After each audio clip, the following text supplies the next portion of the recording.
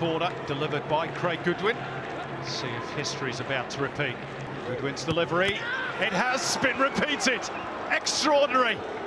Goodwin to Souttar, same result, 1-0 Australia. Harry Souttar has his 10th goal for his country in just his 22nd appearance. Look at big Harry Souttar, he just holds his ground, big and strong, and the delivery from great Craig Goodwin is on a dime. Irvine for Rowles, now they do find that little pocket of space. Goodwin, tempting ball in, and the shot from Metcalfe was on target. Comfortable enough for Rami to take short. Al-Battat looking to pick out a teammate. Big chance here. Matt Ryan with a miraculous save to deny Tamer Seyam.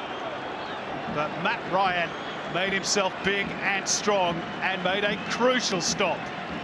That's why Matt Ryan is so highly rated. That is a miraculous save to protect Australia's lead. Sent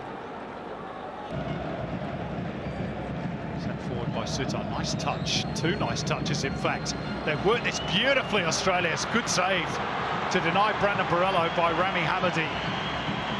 And that was some of Australia's best work in an attacking sense all night. Yeah, beautiful interplay there. He's sharp since coming on straight away.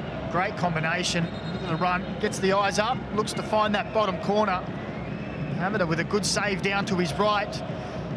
Souttar's got away. Free header for Jordan Bos. And it crashes back off the crossbar. Still alive for Australia. Jordy Bos, he just ghosted in, didn't he, towards that six-yard area. Everyone's thinking about Harry Souttar at the near post.